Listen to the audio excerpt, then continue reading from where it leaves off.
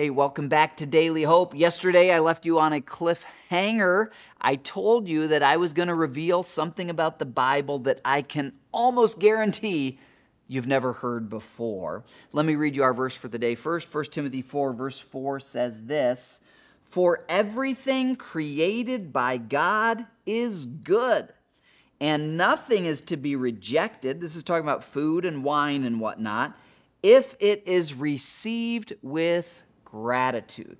Now, what's interesting about that verse is that kind of summarizes the book of Ecclesiastes.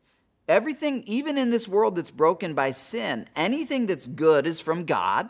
James said the same thing. Every good and perfect gift comes from above, from our Father.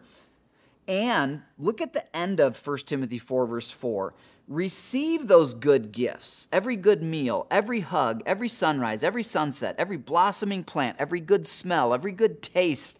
Receive them with gratitude. Gratitude to whom? To God your Father.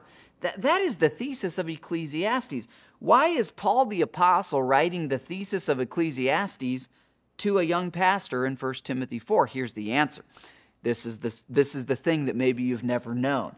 Paul studied under a famous Jewish rabbi. His name was Gamaliel. Gamaliel was the equivalent of Harvard, Yale, Duke, Stanford, an Ivy League education for a Jewish student at that time. And Gamaliel, we know from his own writings, had done his PhD, for lack of a better term, and guess what?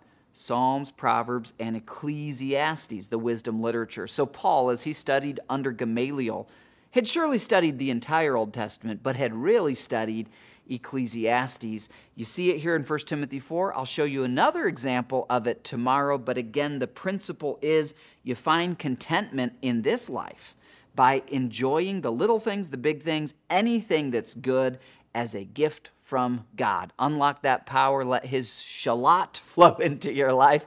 I'll see you tomorrow for more Daily Hope.